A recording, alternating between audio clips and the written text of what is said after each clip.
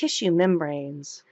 A tissue membrane is a thin layer or sheet of cells that covers the outside of the body, the organs, the internal passageways that lead to the exterior of the body, and the lining of the movable joint cavities. There are two basic types of membranes connective tissue membranes and epithelial membranes. Connective tissue membranes. The connective tissue membrane is formed solely from connective tissue.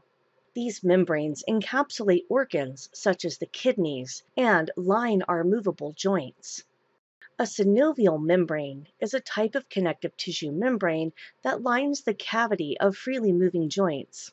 For example, the synovial membranes surrounding the joints of the shoulder, the elbow, and the knee Fibroblasts in the inner layer of the synovial membrane release hyaluronan into the joint cavity. Hyaluronan effectively traps available water to form synovial fluid. Synovial fluid is a natural lubricant that enables the bones of a joint to freely move against one another without causing too much friction. This synovial fluid readily exchanges water and nutrients with the blood, as do all bodily fluids. Epithelial membranes. The epithelial membrane is composed of epithelium attached to a layer of connective tissue. The mucous membrane is also a composite of connective and epithelial tissues. Sometimes called the mucosa, these epithelial membranes line the body cavities and hollow passageways that open up to the external environment. This includes the digestive, respiratory, excretory, and reproductive tracts. Mucus produced by the epithelial exocrine glands covers the epithelial layer. The underlying connective tissue, called the lamina propria, helps to support the fragile epithelial layer.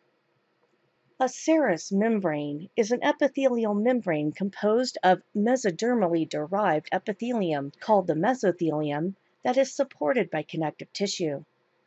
These membranes line the coelomic cavities of the body and cover the organs located within those cavities. They are essentially membranous bags, with mesothelium lining the inside and connective tissues lining the outside.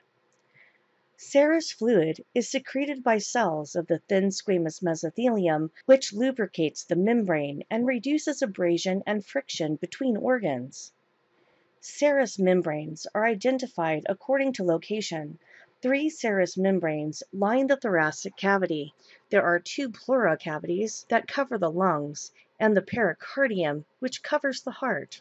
A fourth is the peritoneum. This is the serous membrane in the abdominal cavity that covers the abdominal organs and forms double sheets of mesenteries that suspend many of the digestive organs.